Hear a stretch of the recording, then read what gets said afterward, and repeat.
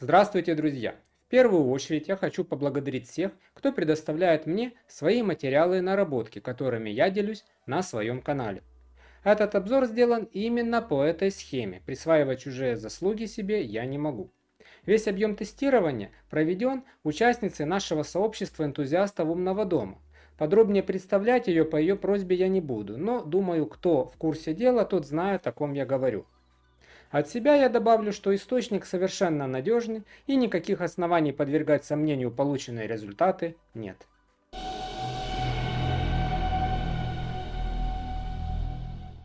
Тестирование проводилось ZigBee MQTT с использованием координатора CC2652 RF Star, ревизия от 20 марта 2021 года.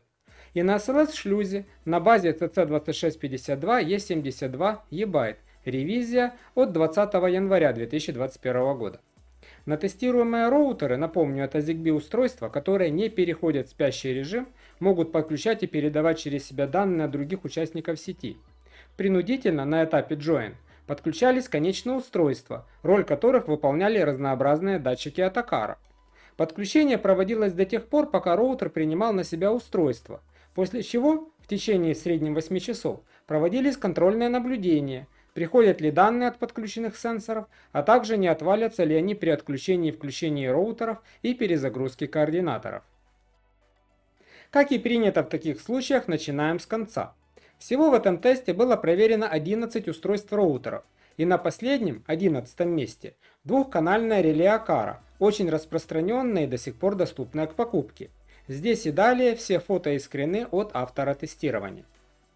Устройство, как и впрочем все остальные участники теста, имеет штатную поддержку в ZigBee MQTT, внешних конвертеров не применялось, обновление до последней версии прошивки.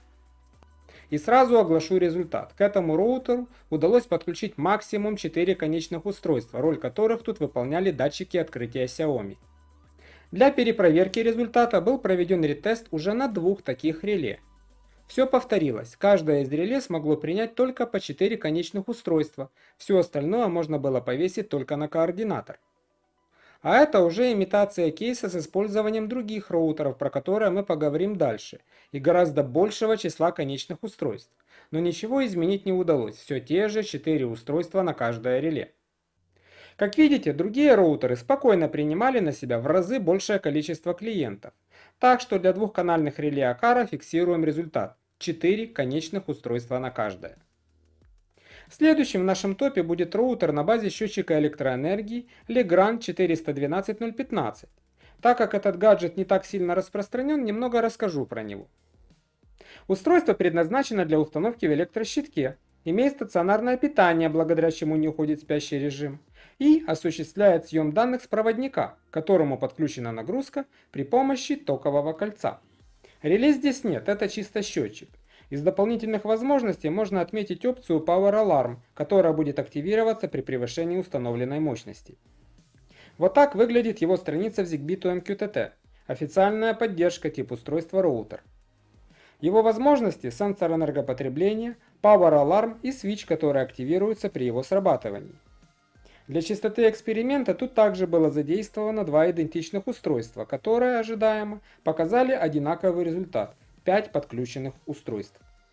Эксперимент был продолжен, и оба тестируемых роутера были подключены через другие промежуточные роутеры. В результате была создана вот такая сеть, вполне приближенная к реальным условиям. Что касается возможности Legrand, все осталось неизменным. 5 конечных устройств на каждом. На этой же ступеньке стоит и второй продукт от Legrand в этом тестировании – встраиваемая евророзетка с энергомонитором. С точки зрения использования очень интересный вариант, так как это один из очень редких представителей именно встраиваемых розеток с европейским разъемом и энергомониторингом. А модульность позволяет объединять одной рамкой сразу несколько устройств, установленных в один ряд. Это и отсутствие вменяемых аналогов и оправдывает немаленькую цену гаджета. Вот несколько нетривиально устройство определилось ZigBee to MQTT с кучей неподдерживаемых символов.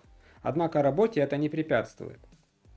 Вот так выглядит меню Exposes, стандартные опции для энергомонитора, switch и из интересного сенсор Action, реагирующий на кнопку.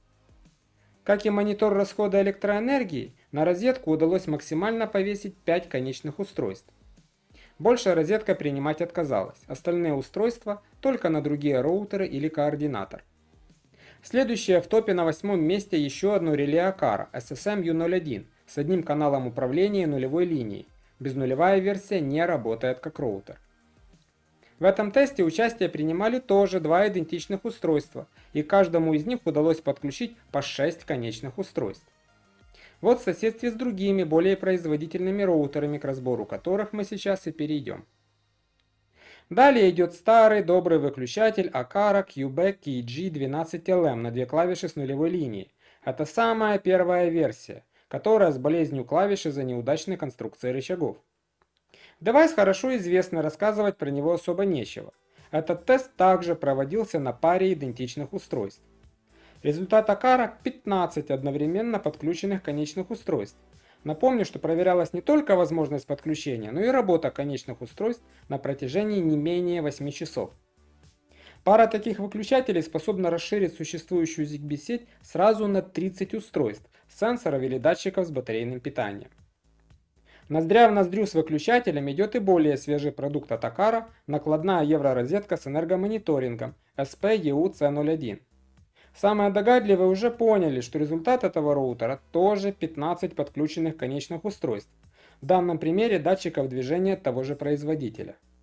А этот слайд мы уже видели, но в другом тесте одноканальных реле.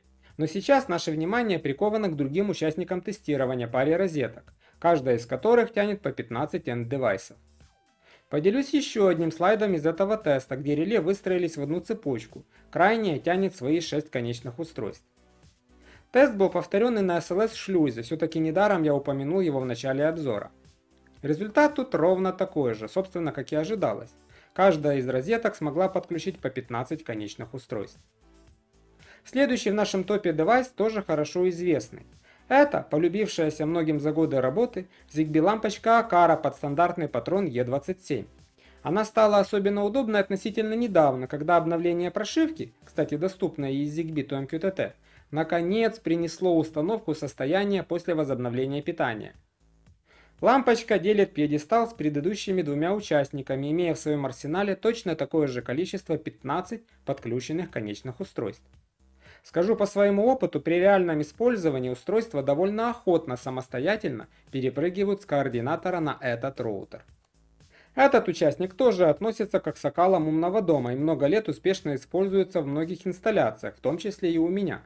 Это китайская версия накладной розетки Xiaomi ZN CZ02LM с энергомониторингом.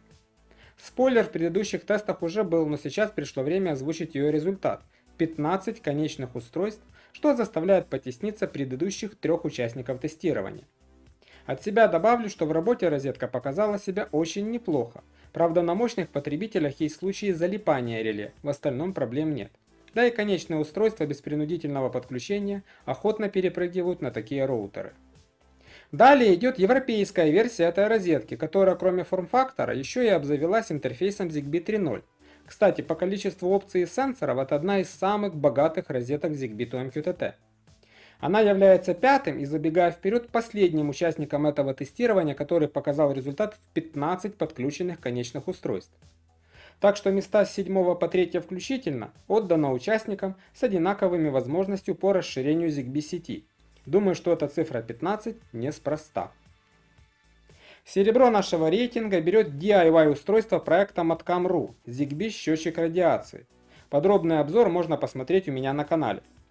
Сердцем устройства является 100 милливаттный ZigBee чип CC2530, что и объясняет отличный относительно других результат. И он составил целых 20 конечных устройств, в 5 раз больше, чем самый первый участник реле Атакара, так что не каждый роутер одинаково полезен. Вот тут вместо одного из конечных устройств к нему подключен еще один роутер, а к нему в свою очередь свое конечное устройство. Еще один интересный слайд. Счетчик Гейгера с 19 конечными устройствами и одним роутером, к которому подключено еще 5. Это максимум для него своих конечных устройств.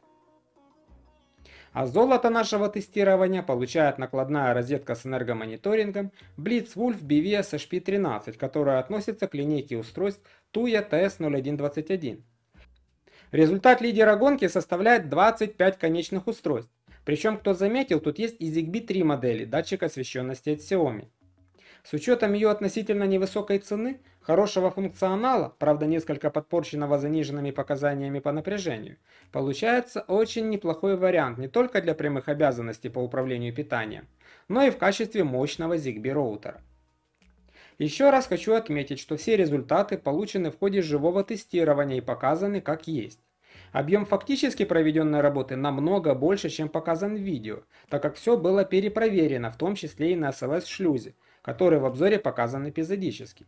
Разница в способности к подключению устройств в зависимости от того, используется ZigBee to MQTT или SLS-шлюз, не обнаружено. На этом все. Надеюсь, что видео было вам полезным и интересным. Если да, скажите об этом, поставив свой лайк. Чтобы не пропускать новые видео, подписывайтесь на мой канал и нажимайте на колокольчик. Кто не знает, у меня есть еще телеграм-канал, в котором я публикую много интересного материала по тематике умного дома. Спасибо за внимание, до новых встреч!